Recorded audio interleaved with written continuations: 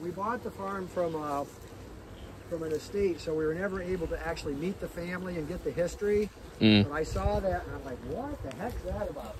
So every time we would meet some that one that knew the previous owners, we would ask them, you know, what can you tell us? What can you tell us? And one time, one of the nephews showed up. He said, well, tell us the story about the farm. He said, what can I tell you? He said, okay, when we were kids, we were staying at the farm and all of a sudden, Grandma Harden came out the front door with this beat up 22 rifle and a, and a bullet, and she was all upset. She said, There's a porcupine eating my pear tree, you go shoot it. So that was a, a, a normal pear tree. The porcupine ate the bark off of one side, and then the carpenter ant, ants got in and ate the, the trunk out hollow. But we've been here since 2005, and I cut it off. I cut the top two thirds of it off, and it's still uh, grows good. This is one of the few years we haven't had much of a crop, and we had Exactly, because of the freaking heat and the lack of rain. well, no, that's not actually it. What it was, it, wa- well, it was really hot in April. It was like 80 degrees the end of March. Oh, yeah, yeah. And then we had a bunch of hard frost, so it killed all the, made the, the flower buds come out. Oh, yep. So this is one of our um, the season extension hoop houses. Right now the plastic is not on because we've got only hot weather crops in here. We have beans growing on the, the trellis and also trellised on uh, strings on the outside. We have drip irrigation for the whole garden so that when Danny wants to water, she just looks to say, well, which row needs it? If the row needs it, the valve goes this way. If the row doesn't need it, she turns it the other way. Then there's a wind-up timer she can set for however long, an hour, two hours. And then the water just seeps out of these hoses into the crop. And we can water even when it's hot and sunny and windy like this. And we have very little loss to evaporation. The water goes right to the plants and not on the foliage. So you're not getting uh, causing fungal disease from wet foliage and you're not watering the aisles to encourage the weeds and very efficient time-wise and water-wise. So who among you are gardeners? Um, eh, I tried. Our, Okay. our, my dad is. We had a we have a greenhouse at my school. Oh, nice. So this is sweet corn, zucchinis, and then we do a lot with these plants we call floating row covers. These are like uh, the Swiss Army knife of organic farming. And so this is kale, and this is doing two jobs for the kale. One, it's keeping the cabbage moths, the little white moths that lay the eggs that turn into the green worms. Oh, So it's keeping them away. The other thing is it's keeping the wind off the kale because any plant, in particular important to humans, a a leafy green that you eat, if it's out in the wind and the wind buffets it, the plant has to toughen up its cell structure so that it can withstand the wind. And when it does that, it makes it chewier and more bitter. Hmm. So by being under the row cover, it's protected from the wind to a large degree, so the greens are sweeter and more tender than they would be otherwise.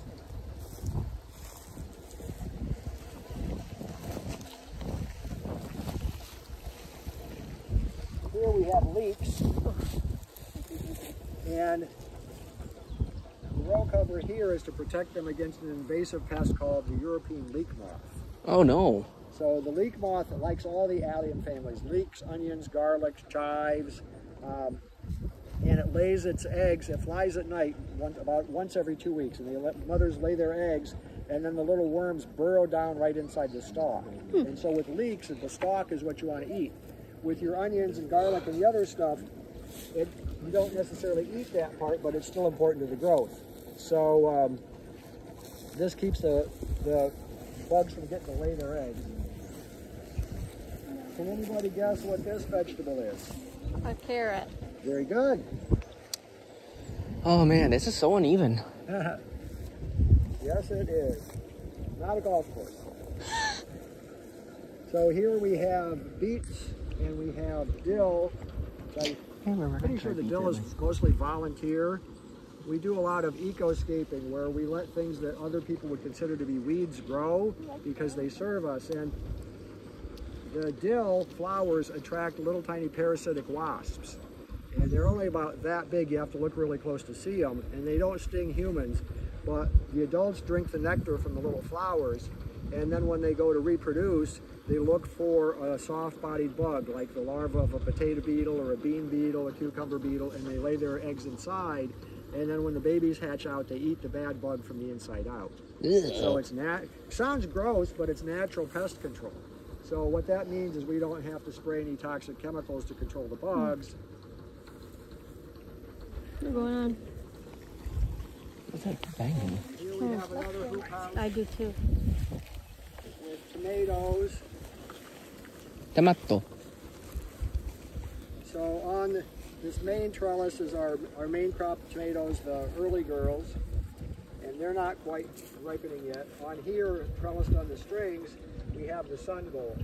So they're like a, a, a big cherry tomato, almost like a plum size, and they're just starting to come ripe.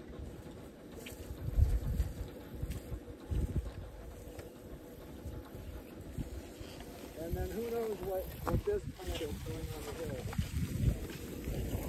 Uh, potatoes. Yes. And these aren't just boring white russet potatoes like you make McDonald's French fries. These are Mm. different varieties of heirloom potatoes.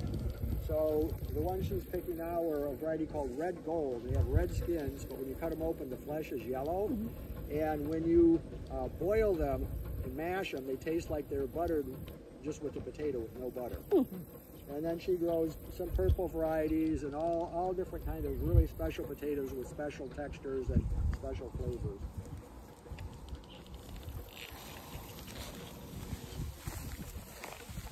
All right, next crop cleared. Brussels sprouts.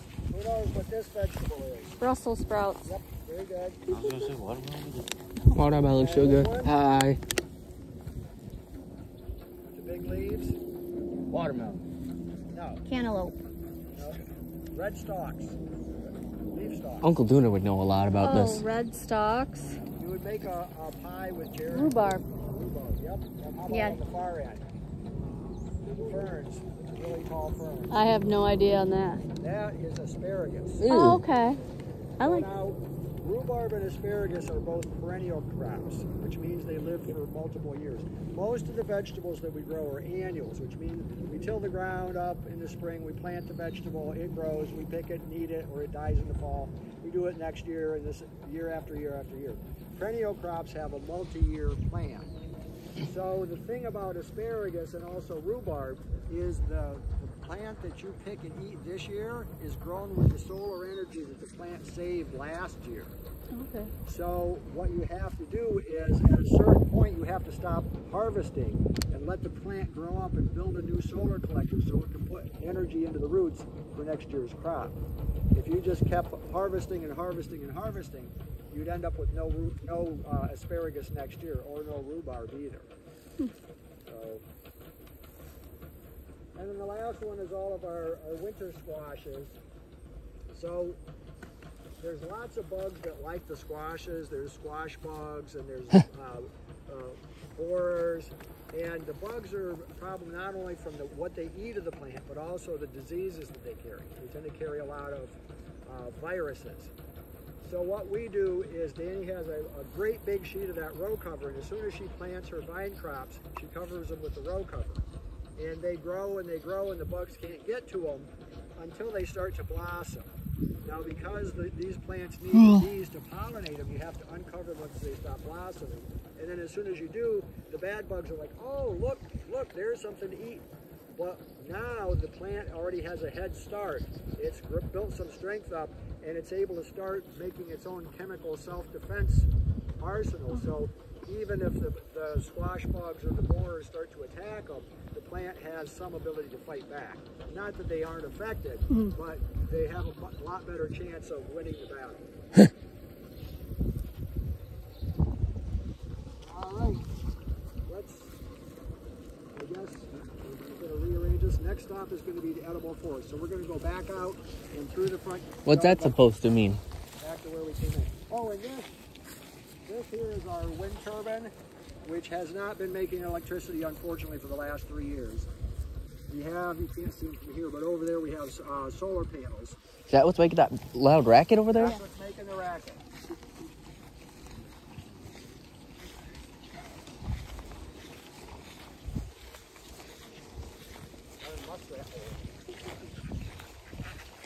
Quack, quack,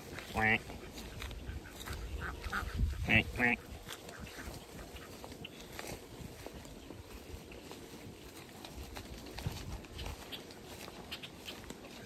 What are those chipmunks? Where's What? home for you guys? Canisteo. Southern Tier, All right. Whereabouts? uh, Canisteo and Whalen, Uh-huh. south, yeah, south of Rochester. About four hours away from here. Yeah.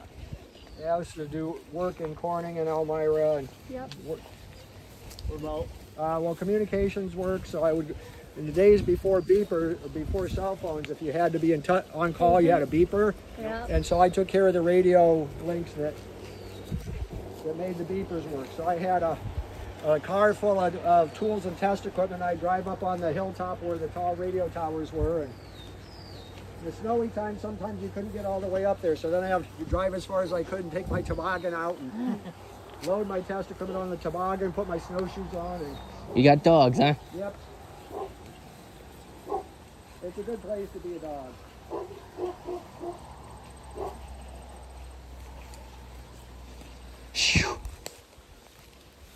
It's getting hot out here. Mm-hmm. Yeah, I think we're, it's good we're not in Arizona though. I was talking to one of my friends who was going back to Arizona. They said it was 120 there. Oh, But it's dry heat. It's okay.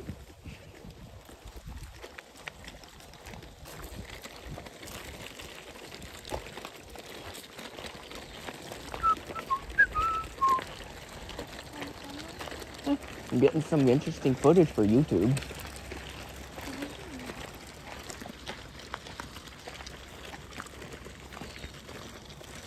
Uncle Dooner would be impressed. Mm-hmm.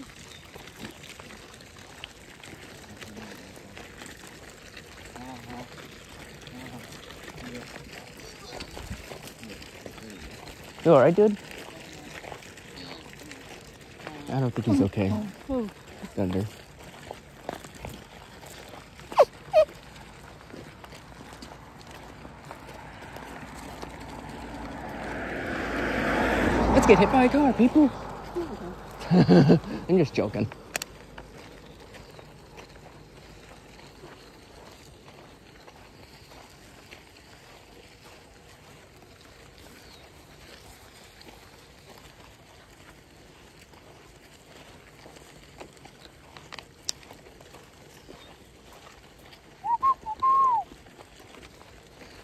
little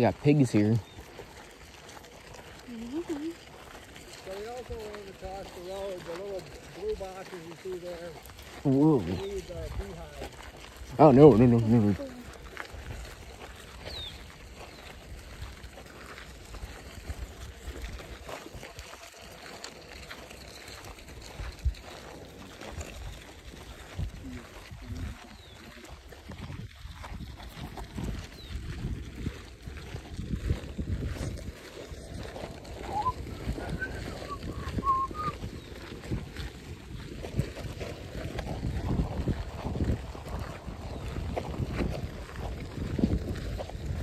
So now we're walking to, I don't know where we're walking to. Let's find out. Alrighty. There we go, there we go. I can hear that machine over there yeah. failing to make electricity. What was that?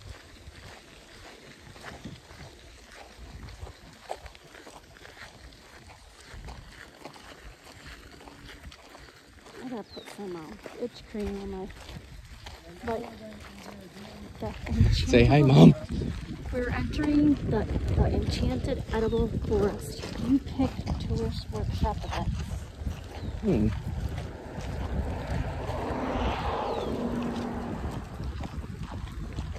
Cool. Okay, so we're now entering the edible forest, apparently. As I'm talking to my peop- the people, talking to my camera, so I can post it, and you know what's going on.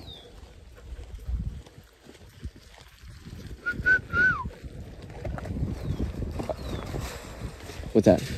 Is He's opening the gate. this where all the cows and such are? Oh, yeah. Has anyone here ever heard of permaculture? Yes, I've heard of it.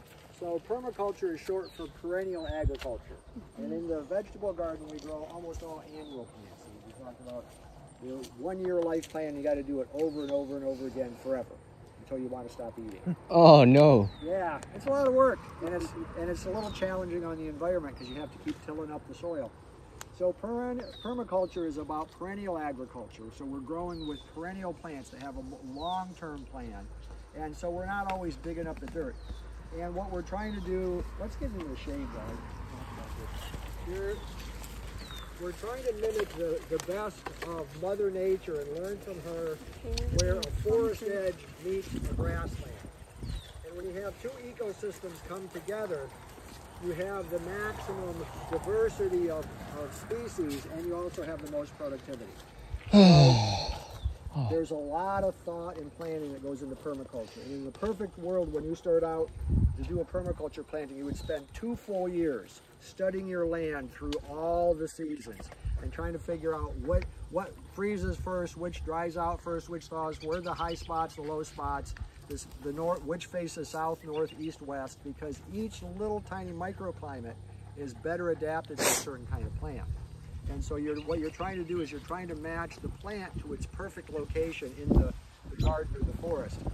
And then we're trying to make maximum use of vertical space, just like in a forest. So we have Sorry. seven layers. So we have the overstory layers, which are the really tall trees like the black locust, or they could be uh, hickory trees, or they could be walnut trees.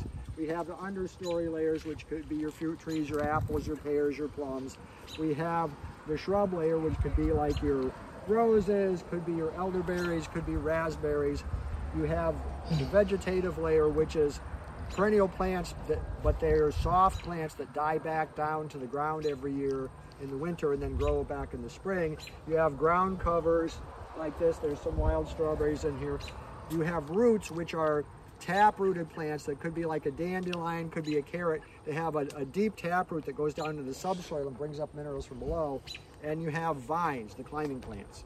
And so the idea is to make use of all the vertical space and all the sunshine and also to have the plants do work. So there's some plants that grow fertilizer. The black locust trees are a nitrogen fixer.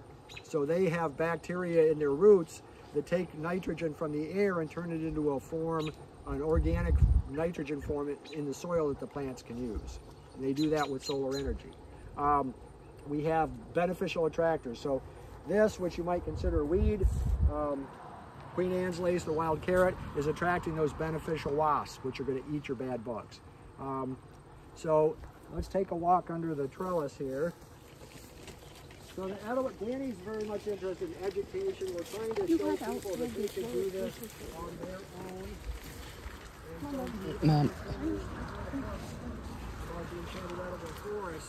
About the enchanted edible forest and how you could do this on You're gonna have to duck in a Whether You've got a little city lot and you only have a few square feet of foundation that you plant edibles instead of shrubs, or if you have a couple acres and you want to go whole hog. So I know, so I said the grape trellis here. The grapes Ooh, are growing great. up. They're not Oh, ripe yet, but it's an, you can feel how delicious the shade is. That's a grape. That's pretty cool. And then we have the frog pond, so close, you can see quite a few little frogs sticking their heads out of the weeds here and sitting on top. When there's water coming in, there's actually a little tiny waterfall underneath the bridge where this drops into the other pond. And then uh, normally we go out this way because of the stroller. We'll go back and stay on the limestone path. Okay, you need to duck. So this is designed for to be beautiful. It's designed to be useful. Although because there's so I hate this. variety, we don't have a huge amount of anything. So what's available to pick is constantly changing. And it doesn't take very much for it all to be picked out. Say, oh, we want to pick strawberries. pick." You have strawberries to pick? Well, yeah, we got three. And they're like, damn it. Exactly. Because we're, we're not what most people expect. Yeah, look So at this is bird. also designed to be an event venue. Uh, so when we put the cover on this, this will accommodate any guests. There's a band sitting up here, and we've done events before where we've had um, the local winemaker come and do wine sampling, the local cheesemaker Wine, bring their Mom. cheese, I live band here, and raise money for charity. Oh. Yeah.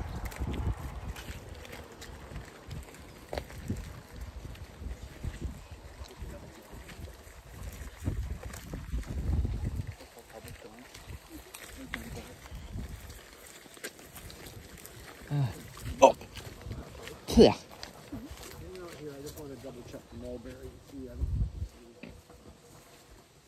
find I something didn't do it. to pick and Did you fart?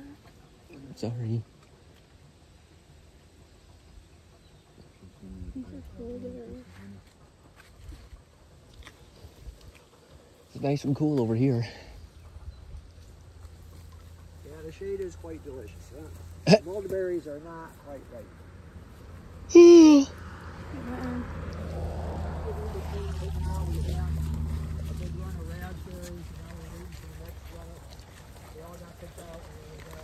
Oh man.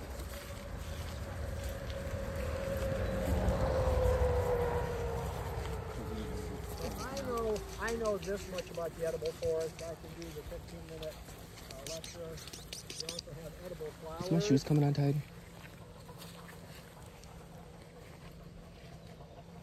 Danny does business with a lot of several of the high-end chefs around here. Yeah. It's edible. I'm not eating it. Um,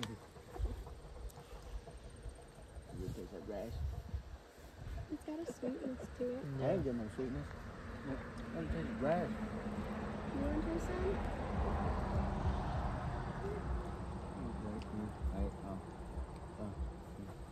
Ooh, see? Yummy.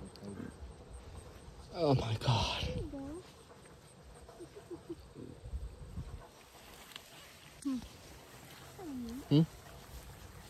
Tastes like lettuce. Yeah, kind of. Logan, come on. I'm coming. Hold on.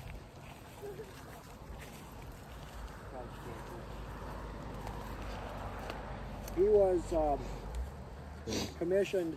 There's a have a lot of rich people around here who own their own whole island. I mean, we live on on this island that has a bridge and interstate, which is really nice because we don't need a boat to get here.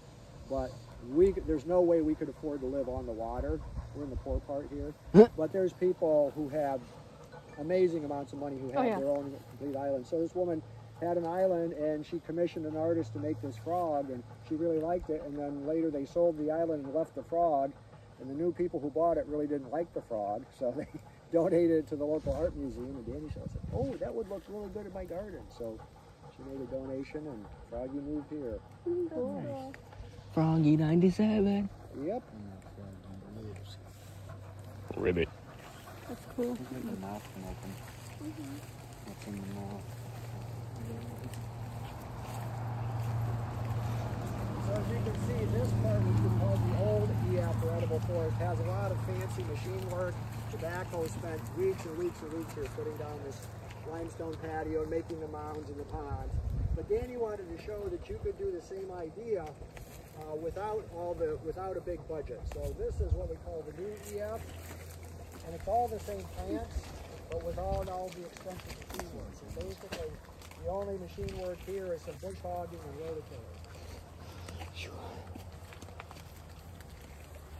We have electric fences to try and keep the deer out. And it's about time to, to bait the electric fence. We have to put electric peanut butter sandwiches on here. So these these mounds here are what's called hugelkultur. It's a German term. And this, normally, this is a really dry summer here. Normally there would be six inches or a foot of standing water here, and so you couldn't really grow anything. So when we had a bunch of volunteers during COVID, they built these hugelkultur mounds, and they started out word. put piles of wood, like logs or branches, and then they took organic matter, could be wood chips or leaves or compost, and built it up, and then they put a layer of dirt on top, and then they planted. And what happens is over time, the wood gradually breaks down and is like a time-release fertilizer. And then also it's wicking up moisture from below to keep everything watered. But it also drains, and so you have deeper soil, so you have more space for the roots to grow.